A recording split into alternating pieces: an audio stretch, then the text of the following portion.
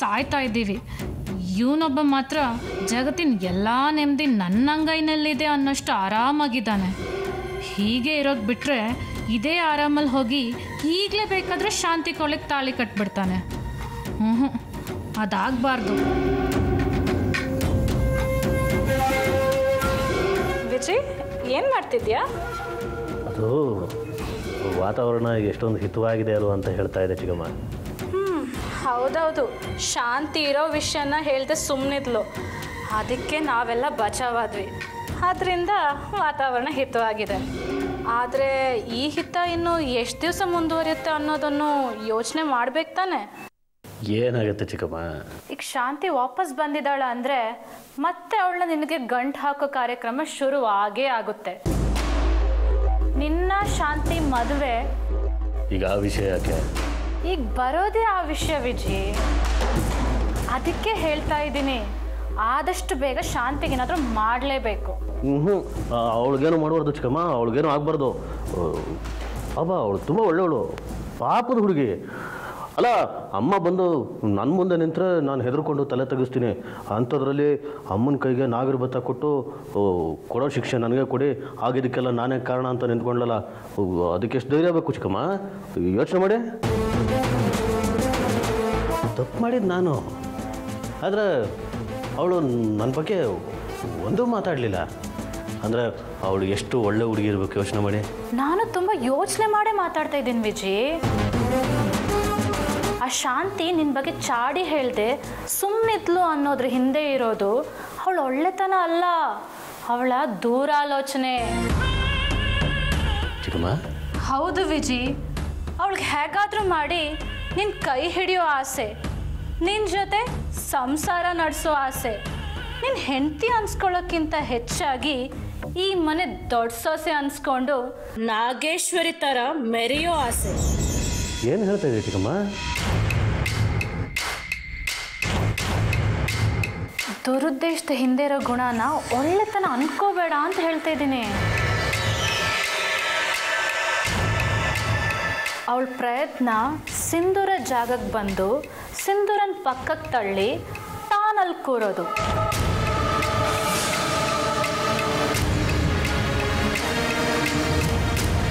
ಕೊನೆಯಲ್ಲಿ ಈ ಮನೆಗೆ ಮುಖ್ಯವಾದವಳು ಸಿಂಧೂರ ಅಲ್ಲ, ಶಾಂತಿ ಅಂತ ತೋರಿಸೋದು. ಇದೆ, ಇದೇ ಅವಳು ಒಳ್ಳೆತನದ ಹಿಂದೆ ಇರೋ ಉದ್ದೇಶ ವಿಜಿ. ಅದನ್ನ ಉದ್ದೇಶ ಅನ್ಬೇಕಾ ಅಥವಾ ದುರುದ್ದೇಶ ಅನ್ಬೇಕಾ ಅನ್ನೋದನ್ನ ಸರಿಯಾಗಿ ಯೋಚನೆ ಮಾಡಿ ಒಂದು ತೀರ್ಮಾನಕ್ಕೆ ಬಾ. ಶಾಂತಿ ಒಟ್ನಲ್ಲಿ ತುಂಬಾನೇ ಚಾಲಾಕಿ. ನಾಳೆ ನಿನ್ನ ಕೈ ಹಿಡಿದು ಹೆಂಡತಿ ಆಗೋಳು.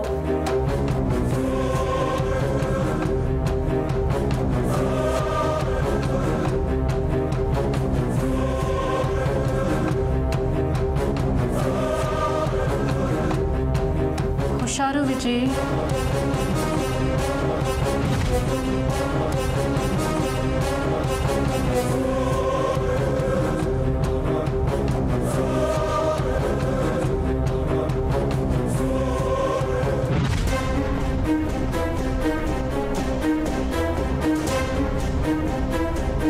ಪಾಪ ಬರೋವಾಗ ಮುಗ್ದಲ್ಲಿ ನಗು ಇತ್ತು.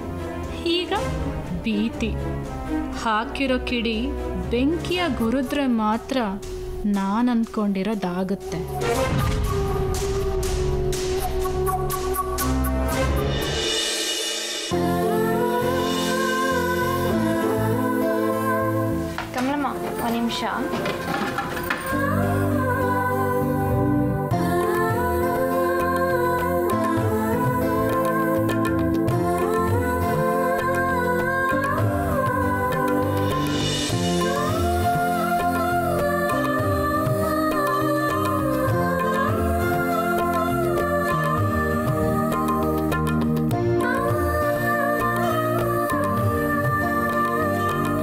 ಶಾಂತಿ ನಿಮಗೆ ತುಂಬ ಕಷ್ಟ ಆಗಿರಬೇಕಲ್ವಾ? ಯಾವುದು ಕಮಲಮ್ಮ? ಮತ್ತಿನ್ನೇನಮ್ಮ ಒಂಟಿ ಹೆಣ್ಣು ಗೊತ್ತಿಲ್ದಿರೋ ಜಾಗ ಅದು ಪೇಟಲಿದ್ದು ಬಂದಿದೆಯಲ್ಲ ತುಂಬ ಹೆದರಿಕೆ ಆಗಿರ್ಬೇಕಲ್ಲ? ಹೆದರಿಕೆ ಆಗಿದಂತೂ ನಿಜ ಕಮಲಮ್ಮ. ಆದರೆ ನನಗೇನಾಗುತ್ತೋ ಅನ್ನೋದಕ್ಕಿಂತ ಹೆಚ್ಚಾಗಿ ಮಾಮಂಗೆ ಏನಾಯ್ತು ಅನ್ನೋ ಆತಂಕನೇ ನನ್ನ ಕಾಡ್ತಾ ಇತ್ತು. ಆದರೆ ಎಲ್ಲೋ ಒಂದು ಕಡೆ ನಂಗೆ ತುಂಬ ಧೈರ್ಯನೂ ಇತ್ತು ಕಮಲಮ್ಮ. ಯಾಕಂದರೆ ವಿಜಯ್ ಮಾಮ ನೋಡೋದಕ್ಕೆ ಹೊರಟಾಗಿರ್ಬೋದು. ಅವರು ಇದ್ದಕ್ಕಿದ್ದಂಗೆ ಕೋಪ ಮಾಡ್ಕೊಂಡು ಬೈಬೋದು. ಅವ್ರನ್ನ ಕಂಡ್ರೆ ಭಯನೂ ಆಗ್ಬೋದು. ಆದರೆ ವಿಜಯ್ ಮಾಮ ಇನ್ನೊಬ್ರನ್ನ ಕಷ್ಟಕ್ಕೆ ತಳ್ಳೋರಲ್ಲ ಅಂತ ನನ್ನ ಮನ್ಸು ಹೇಳ್ತಾ ಇತ್ತು ಆದರೆ ಕಷ್ಟಕ್ಕೆ ನೂಕಿದ್ದು ಅವರೇ ಅಲ್ವೇನಮ್ಮ ಅವರೇ ಆಗಿದ್ರೆ ಮತ್ತೆ ಅವರೇ ಬಂದು ನನ್ನ ಊರಿಗೆ ಯಾಕೆ ವಾಪಸ್ ಕರ್ಕೊಂಡ್ ಬರ್ತಾ ಇದ್ರು ಕಮಲಮ್ಮ? ಆದರೂ ಸಿಕ್ಕಾಕೊಂಡವಳು ನೀನೇ ತಾನೇ? ನಿಜ ಕಮಲಮ್ಮ. ಆದರೆ ಮತ್ತೆ ಇಂಥ ಕಷ್ಟ ನನ್ನ ಬದುಕಲ್ಲಿ ಬರುತ್ತೆ ಅನ್ನೋದಾದ್ರೆ ನಾನು ಸಂತೋಷವಾಗಿ ಒಪ್ಕೋತೀನಿ. ಬಿಡ್ತು ಅಲ್ಲೋ ನಿಂಗೇನು ಹುಚ್ಚಿಗೆ ಹಿಡ್ದಿದ್ಯಾ? ಇನ್ಯಾವತ್ತೂ ನಿನಗೆ ಇಂಥ ಕಷ್ಟ ಬರೋದು ಬೇಡ. ಬಂದ್ರು ಅದರಿಂದ ನಂಗೆ ಒಳ್ಳೇದೇ ಆಗತ್ತೆ ಕಮಲಮ್ಮ. ಅದು ಹೇಗಮ್ಮ? ಸಿಡುಕ್ತಿದ್ ಮಾಮನ ಮನಸ್ಸಲ್ಲೂ ಒಬ್ಬ ಪ್ರೀತಿ ತೋರಿಸೋ ಮನುಷ್ಯ ಇದ್ದಾನೆ ಅಂತ ಗೊತ್ತಾಗಿದ್ದು ನಾನು ಅವ್ರ ಜೊತೆ ಬೆಂಗಳೂರಿಗೆ ಹೋದ್ಮೇಲೆ ಕಮಲಮ್ಮ. ನನ್ನ ಕೈ ಹಿಡ್ದು ನಡೆಸಿದ್ರು. ನನಗೇನೇನೋ ಕೊಡಿಸಿದ್ರು. ಅಲ್ಲಿ ಇಲ್ಲಿ ಎಲ್ಲೂ ಹೋಗ್ಬೇಡ ಅಂತ ಬೈದ್ರು. ಇದೆಲ್ಲ ಪ್ರೀತಿಯಿಂದನೇ ಮಾಡಿದ್ರು ಗೊತ್ತಾ? ಅಯ್ಯೋ ಇವಳಿಗೆ ಏನು ಹೇಳೋದು? ಹೇಗೆ ಹೇಳೋದು? ವಿಜಯಪ್ಪನ ಗುಣ ಏನು ಅನ್ನೋದು ಇವಳಿಗೆ ಇನ್ನೂ ಅರ್ಥ ಆಗ್ಲಿಲ್ವೇ? ವಿಜಯ್ ಮಾಮ ಬೈತಾರೆ. ಒಂದು ಸಣ್ಣ ತಪ್ಪು ಮಾಡಿದ್ರು ಸಿಗ್ದಾಗ ಬಿಡೋಷ್ಟು ಕೋಪಿಸ್ಕೋತಾರೆ ಅವ್ರನ್ನ ಮನುಷ್ಯನ ರೂಪದಲ್ಲಿರೋ ರಾಕ್ಷಸ ಅಂತ ಹೇಳ್ತಿದ್ರಿ. ಆದರೆ ವಿಜಯ್ ಮಾಮ ಆ ರೀತಿ ಇಲ್ಲ ಕಮಲಮ್ಮ. ಅವ್ರು ತುಂಬ ಒಳ್ಳೆಯವರು. ಅವರಲ್ಲಿ ಮಗು ಥರ ಮನ್ಸಿದೆ. ಅದು ಬೇರೆಯವ್ರನ್ನ ಮಗು ಥರನೇ ನೋಡುತ್ತೆ ಗೊತ್ತಾ ಕಮಲಮ್ಮ? ಕಮಲಮ್ಮ ಕಾಫಿ ಇದೆಯಾ? ಇದೆ ಚಂದ್ರಪ್ಪ ಅವರೇ. ಸ್ವಲ್ಪ ಕೊಡ್ರಿ ಸರಿ ಕೊಡ್ತೀನಿ.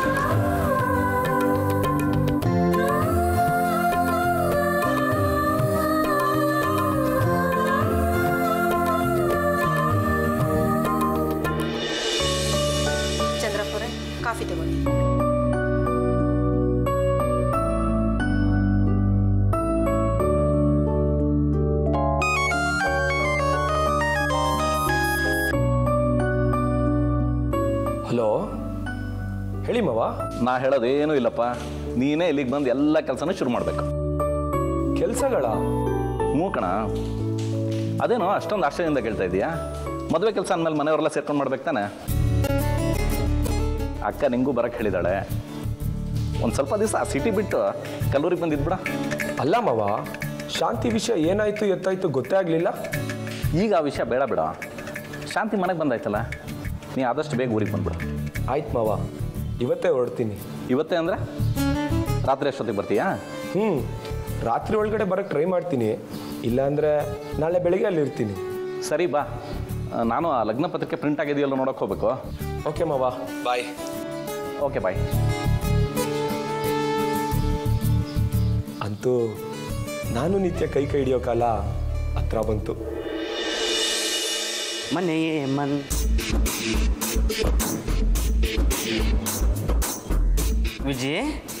ಸಾಗು ಚಟ್ನಿನಾ? ಹೇಗಿದೆ? ಚೆನ್ನಾಗಿದೆಯಾ? ಇನ್ನೂ ತಿಂದಿಲ್ಲ ಹಾಂ ಸರಿ. ಹ್ಞೂ ದೋಸೆ ಬಂತು ತಡಿ. ಹ್ಞೂ ಹ್ಞೂ ಹಾಕು. ಹಾಕು ಹಾಕು. ಇನ್ನೊಂದು ಹಾಕು. ಆಮೇಲೆ ಆಮೇಲೆ.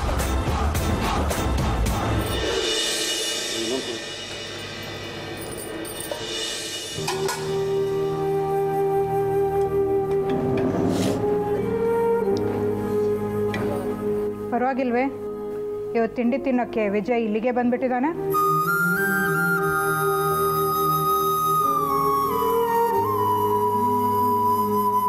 ಅದು ಅದಕ್ಕೆಮ್ಮವ್ರೆ ಪಾಪ ಇವತ್ತು ವಿಜಿ ನಮ್ಮ ಜೊತೆನೇ ತಿಂಡಿ ತಿನ್ಬೇಕು ಅಂತ ಆಸೆ ಪಡ್ತಾ ಇದ್ದಾನೆ. ಪಾಪ ತಿನ್ನಲಿ ಬಿಡಿ. ಹಾಗೇನಿಲ್ಲ ಹೊಟ್ಟೆ ಹಸಿತಾಯ್ತು ಅದಕ್ಕೆ ಬಂದೆ.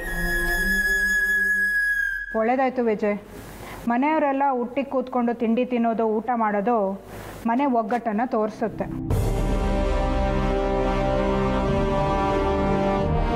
ನಾನು ಬಯಸೋದು ಅದನ್ನೇ. ಶಾಂತಿ, ಬಾಮ್ಮ, ನೀನು ವಿಜಯ್ ಪಕ್ಕದಲ್ಲಿ ಕೂತ್ಕೋ.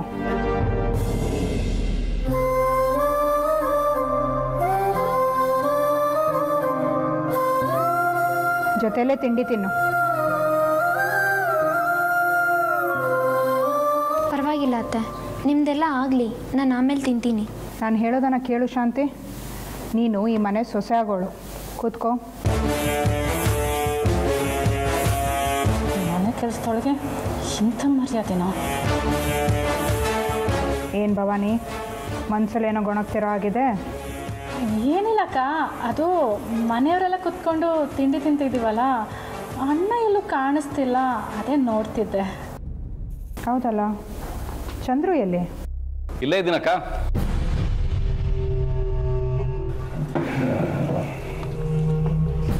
ಪ್ರಿಂಟಿಂಗ್ ಪ್ರೆಸ್ ಕಡೆ ಹೋಗಿದ್ದೆ. ಲಗ್ನ ಪತ್ರಿಕೆ ಆರ್ಡರ್ ಕೊಟ್ಟಿದ್ವಲ್ಲ ಅದ್ರದ್ದೆಲ್ಲ ಒಂದೊಂದು ಸ್ಯಾಂಪಲ್ ತಂದಿದ್ದೀನಿ.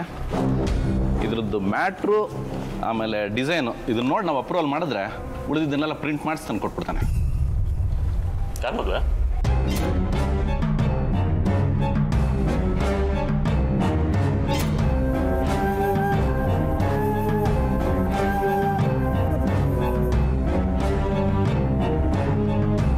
ಇದೇನು ವಿಜಯ, ಹೀಗೆ ಕೇಳ್ತಾ ಇದೆಯಾ?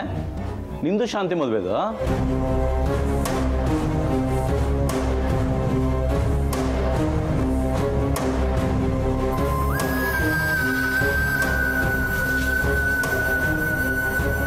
ಒಳ್ಳೆ ಕೆಲಸ ಮಾಡಿದೆ ಚಂದ್ರು.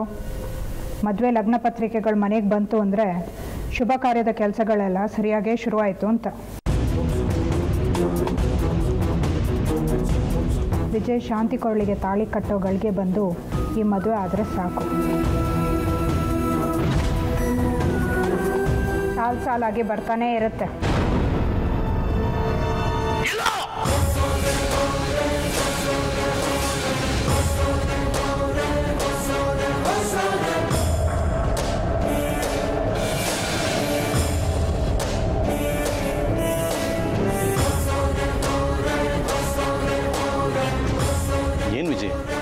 ಯಾಕೋ ಹೀಗೆಲ್ಲ ಮಾಡ್ತಾ ಇದೆಯಾ ಹಾಗೆಲ್ಲ ಮಾಡಬಾರ್ದು ಹಾಂ? ಚಂದ್ರು ಮುಟ್ಬೇಡ ಅದನ್ನು.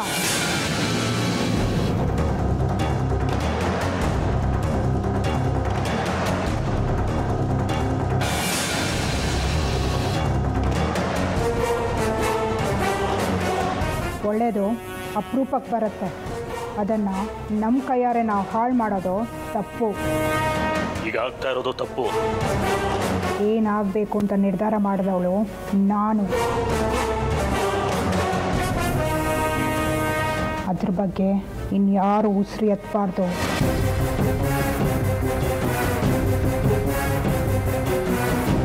ಕೆಳಗಡೆ ಬಿದ್ದಿರೋ ಲಗ್ನ ಪತ್ರಿಕೆಗಳನ್ನ ಎತ್ತಿಡು.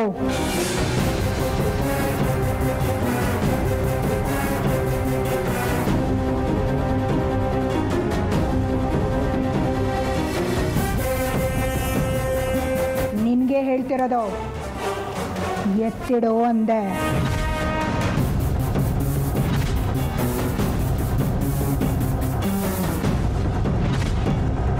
ಹೇಳಿತು, ಕೇಳಿಸ್ಲಿಲ್ವಾ ವಿಜಯ್?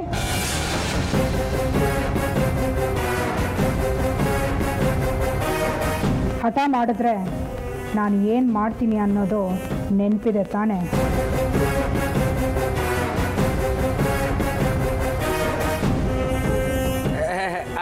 ಅದಕ್ಕೆ ಅವ್ರೆ ವಿಜಯ ಎತ್ತಿಡ್ಬೇಕು ಅಂತ ಯಾಕೆ ಹಠ ಮಾಡ್ತಾ ಇದ್ದೀರಾ? ನಾನೇ ಎತ್ತಿಡ್ತೀನಿ ಬಿಡಿ. ತಿಂಡಿ ತಿನ್ನೋ ಕಾರ್ಯಕ್ರಮ ಎಲ್ಲ ಮುಗಿದು ಬಿಡ್ಲಿ. ಆಮೇಲೆ ನಿಶ್ಚಿಂತೆ ಕೂತ್ಕೊಂಡು ಮಾತಾಡೋಣ. ಆಯ್ತಾ? ಹಾಂ? ಕೇಶವ ಹೇಳಿದ ಕೆಲಸನ ಹೇಳ್ದವ್ರೆ ಮಾಡಬೇಕು. ಬೇರೆಯವರಲ್ಲ.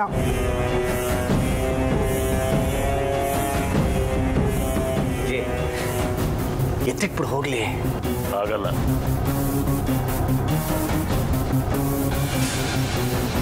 ಹಾಗಾದರೆ ನಾನು ಅಂದ್ಕೊಂಡಿದ್ದಾಗತ್ತೆ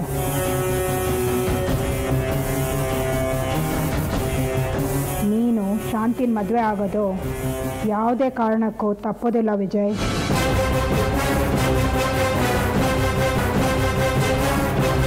ನೀನು ಯಾವ ಕಾರಣಕ್ಕೆ ಮದುವೆ ಬೇಡ ಅಂತಿದ್ಯಾ ಅಂತ ನನಗೆ ಗೊತ್ತು ವಿಜಯ್. ಆ ಕಾರಣನ ಬೂದಿ ಮಾಡೋಕ್ಕೆ ನನಗೆ ಹೆಚ್ಚು ಸಮಯ ಬೇಕಾಗಿಲ್ಲ. ಆ ಕೆಲಸನ ನಾನು ಮಾಡಬೇಕಾ? ಅಥವಾ ನಾನು ಹೇಳಿದ ಕೆಲಸನ ನೀನು ಮಾಡ್ತೀಯ? ಯೋಚನೆ ಮಾಡು.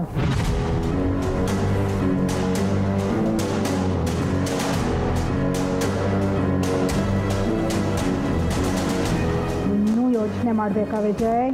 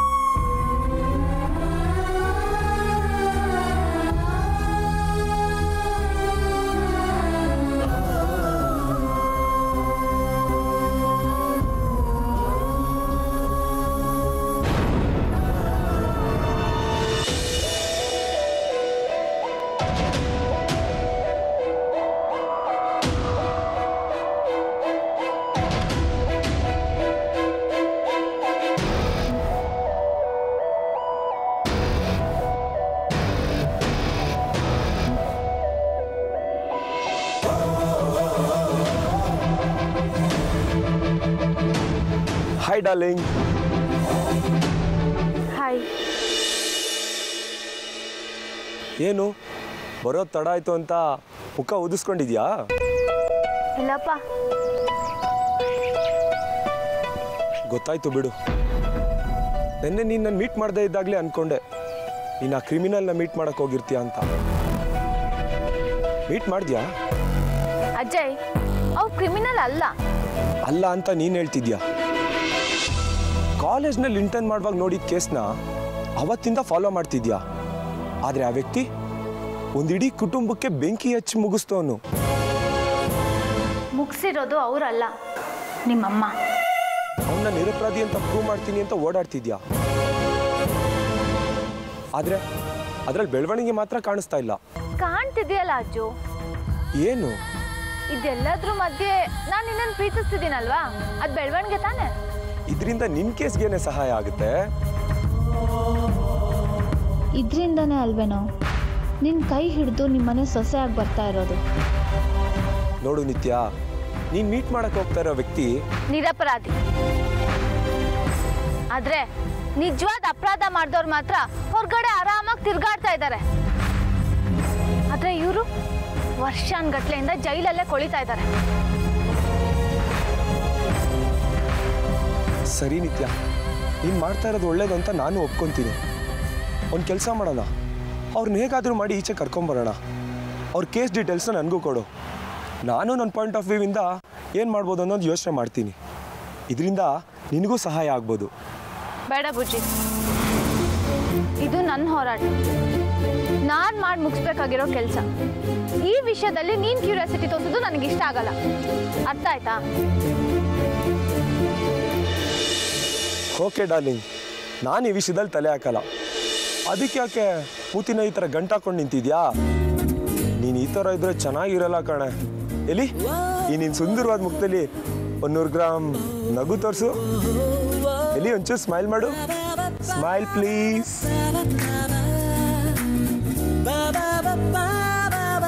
ಇದೇ ರೀತಿ ನನ್ನ ಬಂಗಾರ ಯಾವಾಗಲೂ ನಗ್ತಾ ಇರಬೇಕು.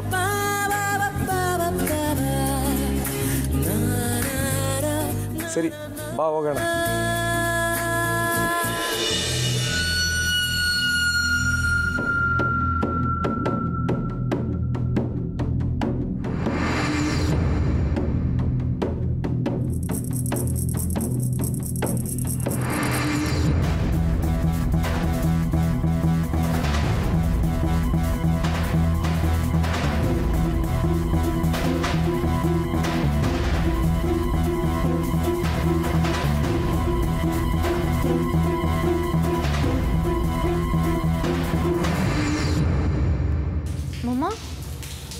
ಬೇಕಾ?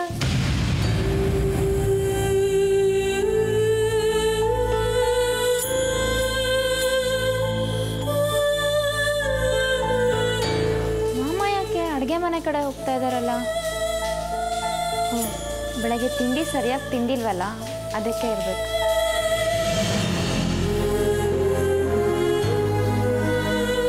ಹೌದು, ತಿಂಡಿ ಇದೆಯಾ, ಖಾಲಿಯಾಗಿದೆಯೋ ಗೊತ್ತಾಗಿಲ್ವೇ?